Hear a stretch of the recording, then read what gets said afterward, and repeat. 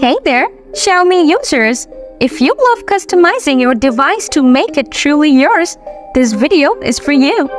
Today, I'll walk you through how to easily enable or disable the display charging animation after unlocking your Xiaomi phone. So, let's dive right in without wasting any more time. First, grab your Xiaomi phone and open the Settings app. Next, scroll down a bit and locate Always On Display Unlock screen. Tap on it.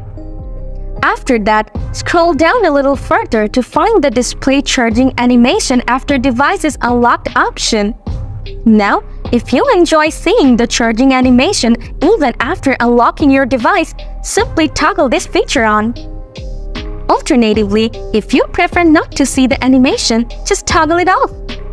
And there you have it!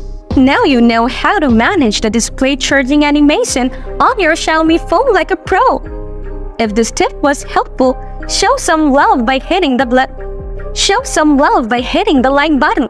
For more Xiaomi phone tips and tricks, be sure to subscribe to the channel because I've got plenty more coming your way.